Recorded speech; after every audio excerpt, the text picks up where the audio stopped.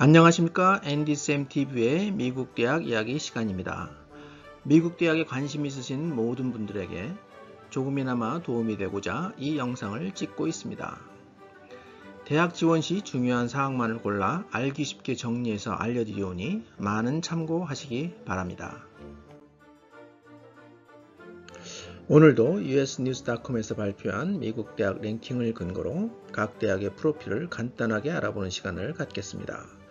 오늘, 오늘은 그 18번째 시간으로 미국 대학 랭킹 18위로 선정된 University of Notre Dame에 대해 알아보도록 하겠습니다.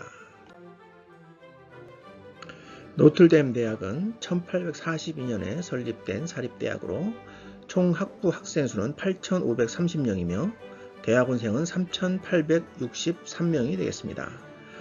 노틀댐 대학은 미국 인디애나주 노틀담에 위치해 있습니다.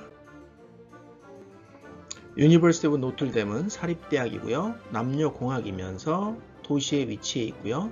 학제는 semester제이고 한 수업당 20명 미만의 학생 수의 비율이 62%이고요.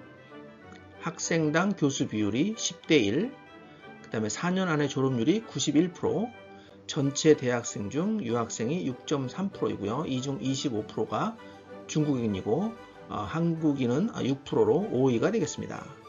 전체 학생 중 아시안이 차지하는 비중은 5%가 되겠습니다. 자, 이제 가장 인기 있는 다섯 개의 인기 학과를 말씀드리겠습니다. 첫 번째는 Finance, 두 번째는 Economics, 세 번째는 Accounting, 네 번째는 Mechanical Engineering, 다섯 번째는 Political Science and Government이 되겠습니다.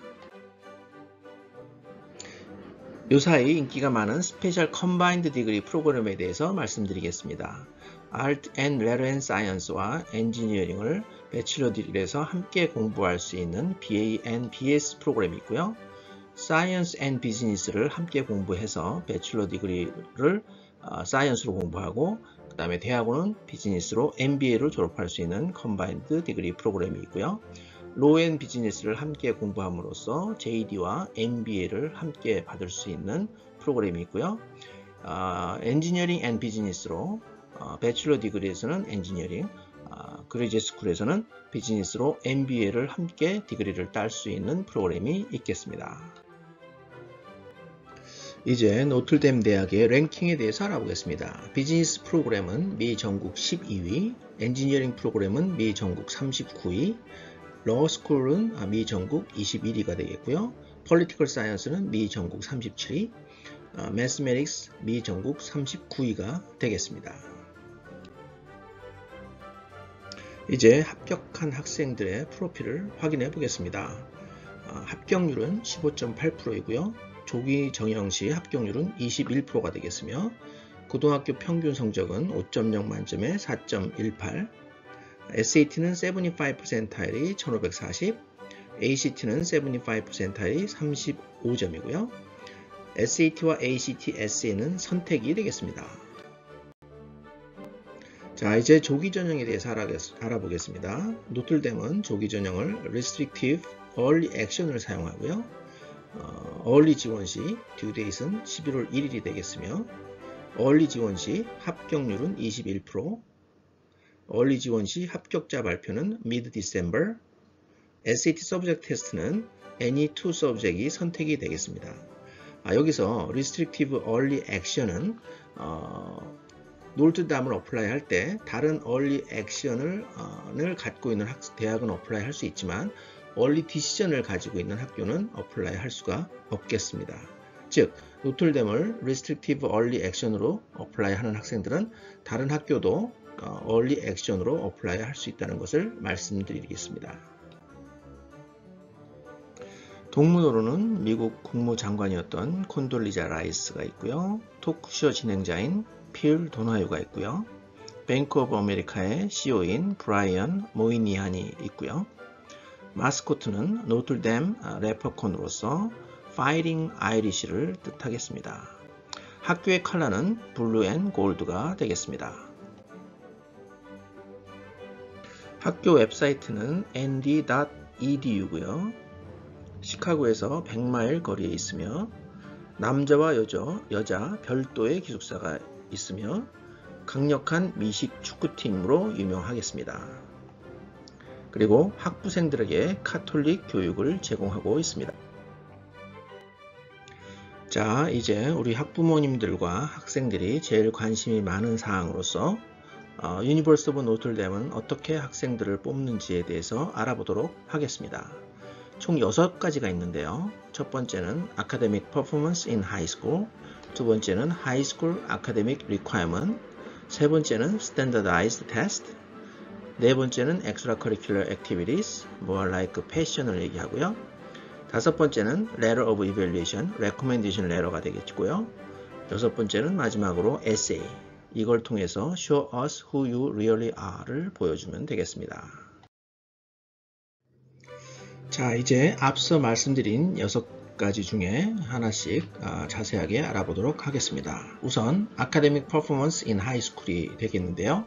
일단 GPA가 높은 성적을 유지해야 되겠으며 rigor class, 학교 안에 있는 AP나 Honors를 가능한 많이 듣는 것이 좋겠으며 세 번째는 학교 안에서의 본인의 랭킹도 매우 중요하겠습니다. 두 번째로 High School Academic Requirement에 대해서 알아보겠습니다. 최소한 어, 영어 4년, 수학 3년, 외국어 2년, 과학 2년, 역사 2년 이렇게 되어 있는데요. 한국에 국영수가 있듯이 미국도 5 코어 코스가 있습니다. 그것은 영어, 수학, 외국어, 과학, 역사를 아, 말하는데요. 어, 이렇게 minimum 이렇게 들어야 되고요. University of Notre Dame에서 원하는 어, 코스의 그 사항을 알아보면 영어 4년, 수학 4년, 외국어 4년, 과학 4년, 역사 4년이 되겠습니다. 즉 어, 좋은 대학을 가기 위해서는 어, 자기 고등학교에 있는 영어, 수학, 외국어, 과학, 역사는 4년 내내 계속해서 어, 들어주는 게 좋겠습니다.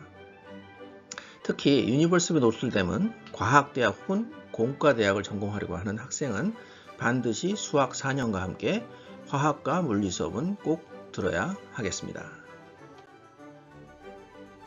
자 이제 세 번째로 Standardized Test에 대해서 알아보겠습니다. 즉 표준고사에 대해서 알아보겠습니다. SAT 혹은 ACT 둘 중에 하나는 꼭 봐야 되고요. SA는 선택이 되겠으며 AP 테스트, SAT Subject Test, IP 테스트도 어, IB 테스트도 선택이 되겠습니다. 자 이제 네 번째로요. Extra Curricular Activity에 대해서 알아보겠습니다.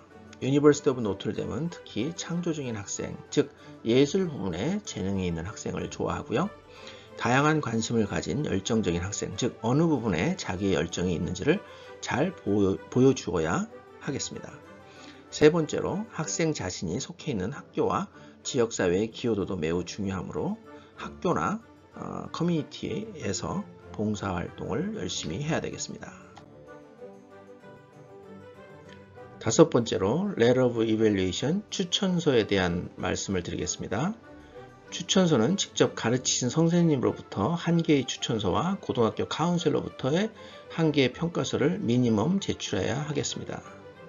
추천서를 요청할 때 9학년, 어, 10학년보다는 11학년 선생님한테 어, 부탁을 하는 게 어, 좋고요. 특히 주요 과목, 아까 말씀드린 5 코어 코스 선생님 중 특히 영어나 수학, 과학, 역사 선생님 중에 한 명을 선택하면 좋겠습니다.